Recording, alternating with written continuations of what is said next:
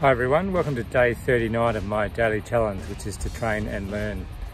Today is Tuesday the 10th of February 2022. Uh, the training for today has been an early morning rowing session, um, now followed by some hill, sand hill runs with burpees on each end, so a bit of a burpee ladder with sand uh, hills. I didn't um, plan it too well because I think it's about 36 degrees and the sand's starting to burn my feet off, but um, yeah, it's been a good warm one. So that's the training. The lesson for today is that there's always a solution.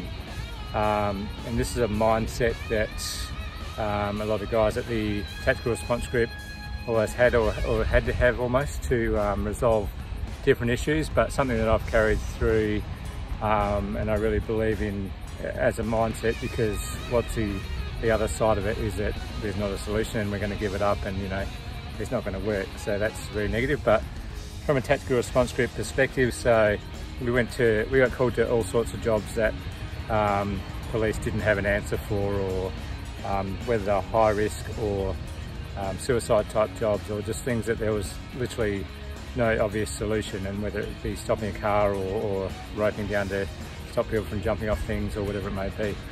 Um, one job I remember in particular was we got called to a country town um, in Western Australia where this lady had been up there, police had been negotiating with her for, for eight or nine hours and she's up on a, a high ledge, uh, mezzanine type ledge inside a big uh, warehouse type shed. Um, and she's she's got a boat anchor attached to a chain. She's swinging that around and says so she's going to throw it at the, the police below. Um, but she's also threatening to jump off and jump on her head and kill herself and these sort of things which um, policing type jobs unfortunately. So we got called out there, um, two hour drive and got out there to have a look and we're getting information as we went and um, pretty much had a good idea of what was happening before we got there. Um, when we got there, there's one of the police girls was negotiating with her, the same girl had been negotiating for um, all morning, afternoon, etc. carried on for quite a while.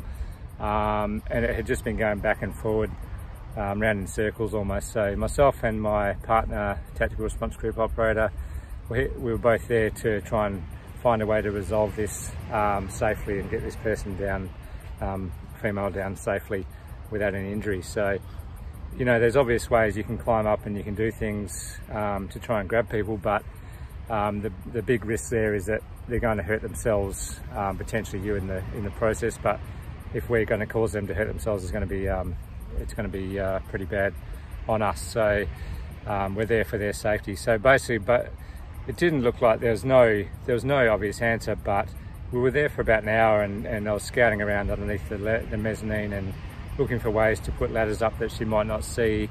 Um, you know, hoping she'd maybe go to sleep up there and we could get up there and grab her or whatever, but never gave up. And between myself and my partner, we were discussing different ways and getting ropes ready.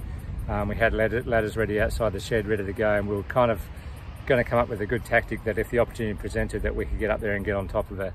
Um, as it turns out, she, I came out from under the mezzanine level where she was up there holding her um, big boat anchor um, and she's having a go at everyone. She saw my partner across the room and she's abused him as though he's the devil, etc. Um, you know, she really didn't like him. Then she looked straight at me and she said, oh, you're a nice man. I'd like to come down and talk to you. And so I've immediately switched from how am I going to get up there and grab her and tackle her and, and drag her down to, oh yeah, no problem, come down and have a chat you know, we'll, we'll talk about it. And we got this rapport going and she, we put a ladder up and she climbed down and had a chat with me and I walked her over to the police car and away she went. But um, sometimes these things happen. For some reason she saw me and went, yep, he's the guy I want to speak to. Um, feel sorry for the cops that have been there nine hours already uh, negotiating, but um, the point of the story is that never giving up on a solution. So we can't, we don't just get there and go, oh, this isn't going to work because of this, this isn't going to work because of this, sorry, we can't help you. It's uh, whether we're there for one hour, five hours, whatever. There's going to be an opportunity, and we're always looking at different angles and ways to do it.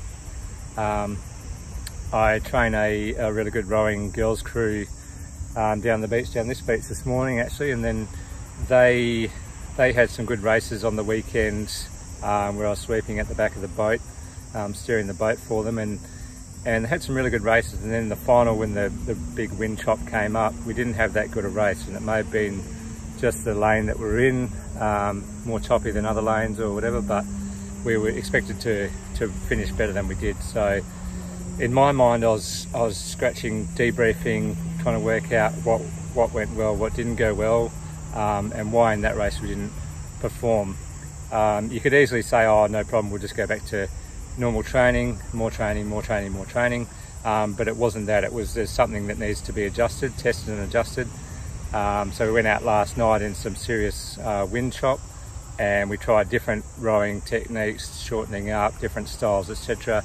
Um, didn't really work in the chop, and then this morning we tried different sets of oars, so some longer, some shorter, um, and we found a bit of a solution. But the, the mindset again is that there's always a solution, so don't, don't just rest on your laurels. We're not happy with getting um, fourth in a final as it was when we should have been top two in that case, um, if not top one. Um, so find the, find the way, find the answer and make it work. So that's the thought for today is that the, have the mindset of there's always a solution. Don't give up. Don't think, oh, there's not going to be a solution. We'll just carry on or something will happen or it'll sort itself out. There's always a solution. Stay curious, find the solution and make it work. All right, that's it for today. Thank you very much.